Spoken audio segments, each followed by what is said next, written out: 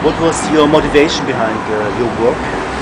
Um, the particular piece that I have on view in LAX is a piece called All My Churen.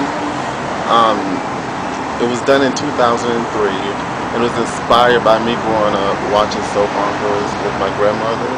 So in graduate school, doing my research for family history, you know, art history, culture history, I um, came up with the idea to do a soap opera because I also had a background in theater and writing, screenwriting prior to going into grad school.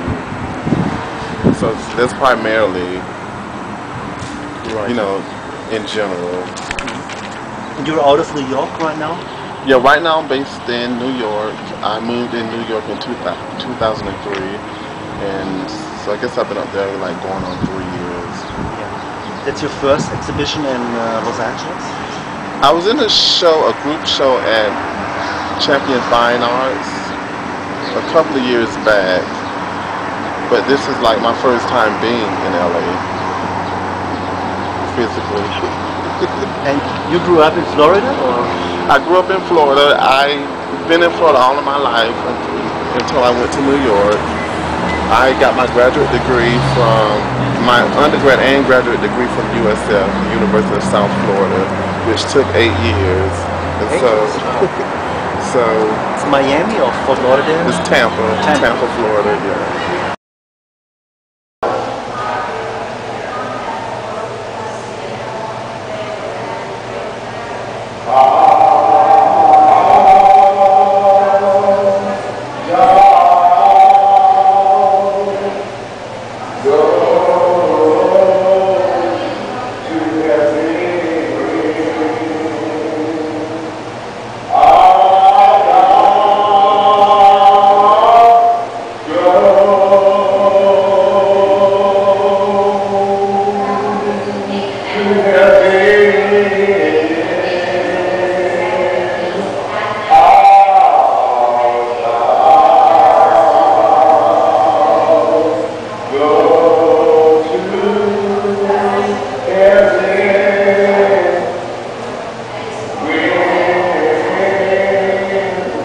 Obrigado.